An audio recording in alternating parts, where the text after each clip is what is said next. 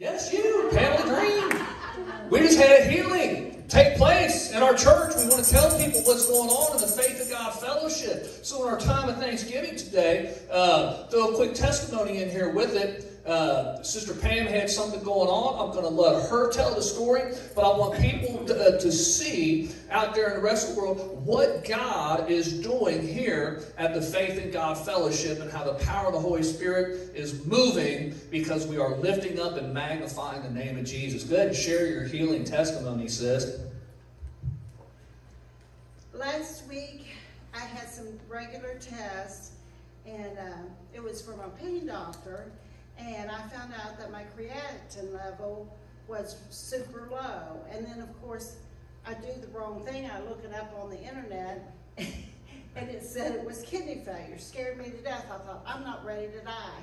Amen. Come on. Because I know what it means. That's right. You know what, what kidney failure means that you, you know, go on dialysis and you might have a year or two, but it probably wouldn't be good years. So called my doctor and she regular tests on me, but the most important thing is the very day that I found out I was at church and I was anointed with oil and my church family prayed for me. Then when I got the test a couple days later, there was no sign of anything wrong with my kidneys at all. Come on. Come on. Yeah. Hallelujah. It was like I had a, a new lease on life, you know. God gave that to me, and um, He healed me. So I just want to praise God for that today. Amen. Amen. Praise God.